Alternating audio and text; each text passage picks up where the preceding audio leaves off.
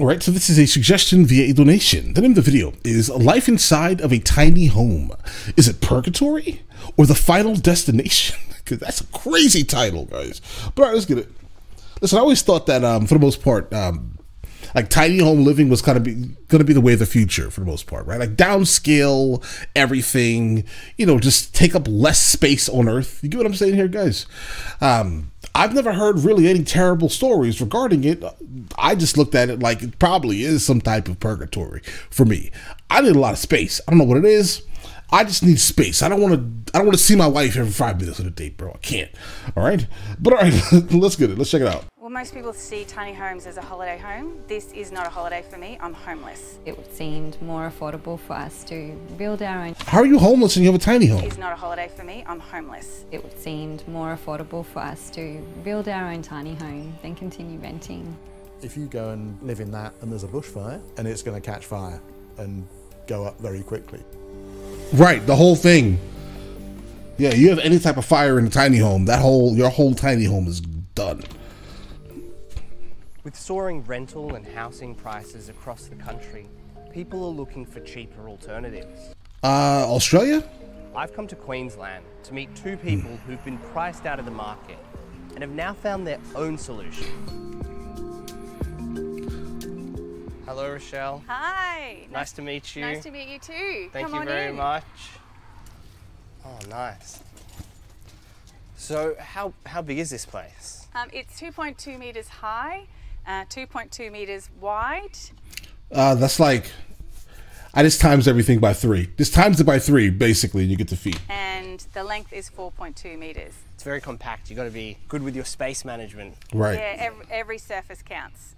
There's always um, extra effort that you have to do to live in a tiny house because things have got to be moved in order to make things functional.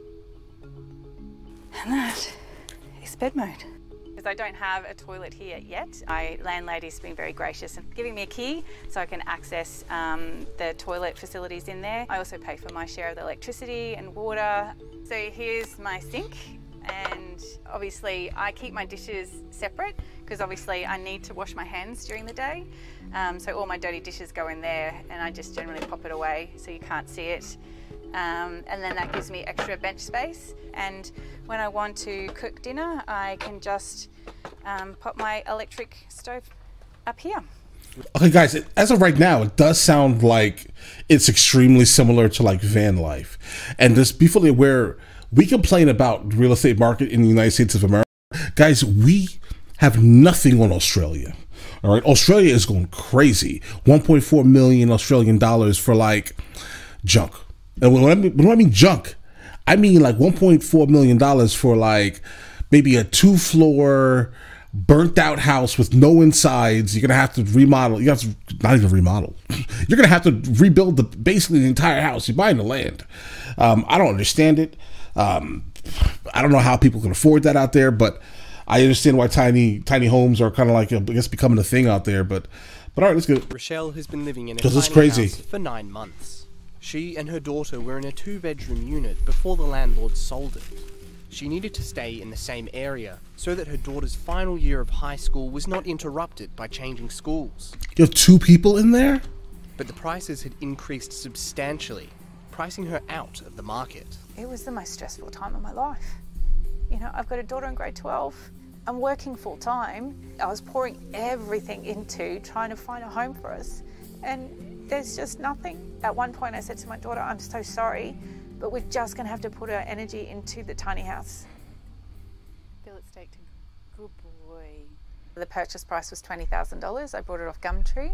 Then I've put another $20,000 in it to renovate. Gumtree is like a, like a Craigslist, I think. dollars. I bought it off Gumtree. Then I've put another twenty thousand dollars in it to renovate it because I had to completely gut it. Rochelle has parked her tiny house in her friend's backyard, where she connects to their power and water. Tiny houses are caravan like houses built on wheels or trailers, so they can be towed to different locations. They're similar in size to a shipping container. The whole house is only 16 by 8 feet. Tiny houses started in the US 30 years ago and are often promoted online as glamorous ways to downsize and live outside cities. Over the last 15 years, Yeah, bro, I don't know. They've grown in popularity as weekend retreats on holiday rental sites. Yeah. Okay. If it's just just going to be like for that purpose, I can imagine a tiny home could be work could work just like you know it'll be cool for the weekend. But I'm not about full time living in a tiny home, guys. Just gonna be honest, I'm not sure about that. And everything that she's saying is basically, for the most part, making it sound terrible. She spent forty thousand dollars total. She's all in forty thousand dollars on this. This is where I had to pour all my money because I know that this rental crisis isn't going away anytime soon. I'm not going to get back into the rental market, let alone buy my own property.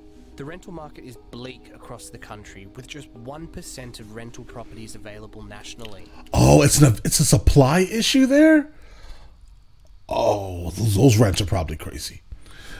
Now it kind of makes sense when I when I when I read that um, literally 1.4 million dollars is basically uh, the cost of a, a house you're gonna have to rebuild to completion to completion, guys. That's basically so yeah, it makes sense now.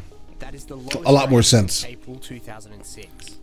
And the Brisbane market, where Rochelle is living, is below Brisbane. national rate, with 0.7% of rental property. Bro, you're not pronouncing the A. Brisbane, Brisbane? Brisbane. Bris- Brisbane. I got it. Let's get it. In terms of affordable rentals, that is, rental properties that cost less than $400 a week, Brisbane is less affordable than Perth, Adelaide, and Melbourne, with only 13% of rental properties under $400. And the Sunshine Coast is even less affordable, with only 4.6% of rental properties under $400. Hi, Hello. Angela. You're welcome. Lovely. Thank you. I mean, I will say though, this one does look a lot better, but I'm guessing it's also a lot more money. How money. long have you been living here? We have been here since mid-August, so yeah, about coming up to six months. Can you put this one down? Angela and her sons Seb and Malayan were in the same rental on the Sunshine Coast for three and a half years before it was sold. To find a place big enough for all three of them, Angela says she would have been paying more than $500, nearly double her previous rent. A good half my wage would have gone to rent. A year ago, I'd explored the option of a tiny house, but wasn't able to obtain finance at the time. Um, so when I looked at the prices of rentals, I just thought, well, what do I really want to be doing? So I went back to that place and I made, we made it work. Um, finance became available. Angela then found a landowner willing to let her set up her tiny house long term. But her local council says people who live in a tiny home need to apply for a temporary home permit. It That's happening everywhere nowadays. Like that is absolutely happening, and it's crazy because listen, these people are trying to escape. Well, obviously, to escape. They're just trying to live. Let's just say that they're trying to live, right? Um, kind of somewhat off the grid, right? But obviously, if you go into any of these areas where um, it's where, where tiny homes are not like the the majority, or people who live in trailers and things like that, yeah, they're gonna they're gonna instantly expect for you to um, start paying your taxes in this area. costs $514 and lasts for 18 months. Right. I have decided not to get the temporary home permit. They're gonna kick you out. Because it's not a temporary home. On this property, we have, I think, five dwellings um, that aren't council approved. A lot of tiny houses, caravans, buses do get moved along from council. We're sort of counting down the time until we are also vacated from the land. It's gonna happen soon. It feels Unfortunately. uncertain our future here. Um, it feels as though we can't put our roots down. Tiny homes are great solution to the housing crisis. We've got people like myself buying the homes. My builder has a home completed every week, and you've got landowners that are willing to open up their land and share with people. But there's hesitancy because they're worried about repercussions with council. The Sunshine Coast Council declined an on camera interview, but instead gave us a written statement. Council remains committed to advocating to other levels of government for collaborative action to address housing affordability. In recognition of the housing crisis and cost of living, Sunshine Coast Council waived permit fees for those having to temporarily live in a tent, car, caravan, or mobile home. Count- So then the tiny home should obviously classify somewhere under mobile home. live in a tent, car, caravan, or mobile home. Council has obligations to protect and manage health and safety, the environment, and reduce impacts on nearby properties and public spaces. Town. Okay, the problem is with this here, at least, uh, the this is it's on private property. But who knows? I mean, listen, the law is obviously different. I can't imagine someone. Let's say, let's say you owned 100 acres uh, in, let's say, Montana, right? I can't imagine someone coming in and saying you can't put this on your property. That's rough, bro. I, I listen. Planning academic Paul Burton has been researching tiny houses. That's extremely years rough, And says the number of people living in them permanently is growing. We reckon there's maybe a thousand or so people live permanently in tiny houses on wheels. Mm-hmm. Paul believes tiny houses are one solution to the housing crisis and wants local councils to review laws around temporary dwellings. I think councils just need to be more thoughtful about how they want to regulate tiny house living. It may have been a policy that you devised some Many, many years ago, or right. Circumstances have changed. You go, Hasn't "Well, evolved." There's a housing crisis, and we'd like to make some land available for somebody to come along and put a cluster of tiny houses here. Despite being an advocate for tiny houses, Paul says they have their limitations. We could make a tiny house out of wood. It'd look lovely, it'd look beautiful. But if you go and live in that in you know, Gippsland and there's a bushfire, then you're sitting in something that a few sparks Yeah, kindling. and it's going to catch fire Right. and go up very quickly. What happens if it gets flooded? You know, The same. The, the same thing. This is the problem that I've had being a single mum for 16 years. It's very hard for me to enter back into the real estate market. So, this is something I don't see myself moving out of anytime soon.